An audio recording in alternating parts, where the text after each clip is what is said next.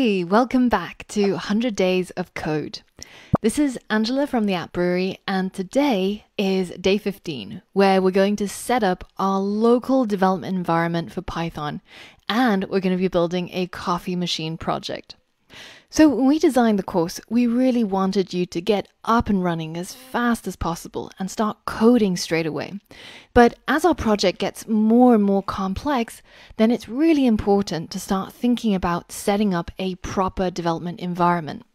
Now, if you are a chef, then you need really sharp knives. And as a programmer, you need a good development environment. In today's lesson, I'm going to show you how to set up my favorite IDE. And the IDE stands for Integrated Development Environment.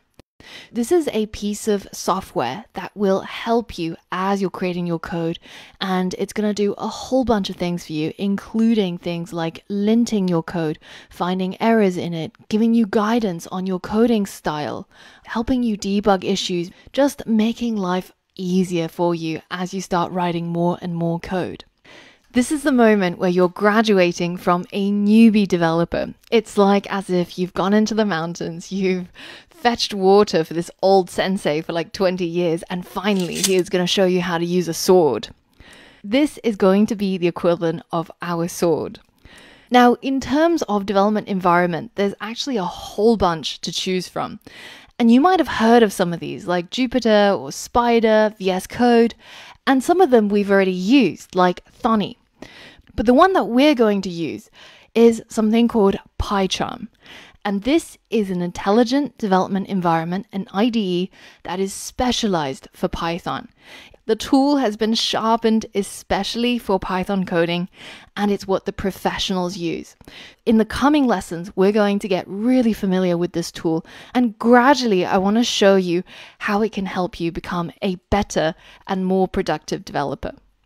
But before we can get started installing PyCharm, we first have to get the latest version of Python installed on your computer. In the course resources, you can go ahead and find the download link for Python. Then, once you're there, it should automatically detect your current operating system. So here I'm on Windows and it says download the latest version for Windows. And then if you click on the big download button, it'll ensure that you get the latest version of Python. Now, it's actually a very small file, so it shouldn't take very long to download. And once it's complete, go ahead and open up that exe file. Now, go ahead and make sure that the checkbox for add Python 3.8 to path is checked, and then leave everything else as it is and click on install now and make sure that you have admin privileges while you're installing. So you have to be logged on as the administrator and say yes to any of the prompts. Now, installation should only take a few minutes. And once it's done, you might get a hint here saying disable path length limit. If you see that, then go ahead and click on it. And again, say yes for allow and then you're done and you can close off the wizard. If you're on a Mac, the process is virtually identical. Once you head over to the link from the course resources, you should see it automatically let you download the latest version for Mac. And once download is complete, you can go through the wizard, clicking continue, agreeing to everything that they ask you to agree, and click install. And again, you'll need to be on the administrator account and type in your password to allow Python to be installed on your computer.